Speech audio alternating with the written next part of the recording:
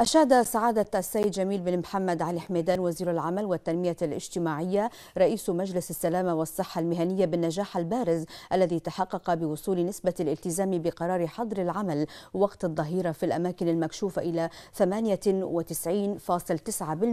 بشكل غير مسبوق. وقال حميدان أن تحقيق هذه النسبة يعكس مدى تنامي مستوى الوعي الذي يتمتع به أصحاب العمل بالقرار مشيدا باستيعابهم للمضامين الواردة فيه والتي تراعي الجوانب الإنسانية وتعمل على تحسين الإنتاجية. وأشاد الوزير حميدان بانخفاض أعداد المخالفات المرصودة في مواقع العمل وما تبعه كذلك من انخفاض ملحوظ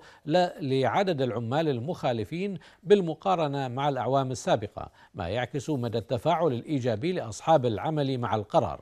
فقد قامت الوزارة بأكثر من عشرة آلاف زيارة تفتيشية على القطاعات الاقتصادية التي شملها القرار مشيرا إلى أنه تم رصد 106 منشآت مخالفة للقرار وقد بلغ عدد العمال الذين تم ضبطهم في مواقع العمل 235 عاملا وقعت بشأنهم المخالفة حيث سيتم إحالة محاضر المخالفات للنيابة العامة لاستكمال الإجراءات القانونية اللازمة بهذا الشأن.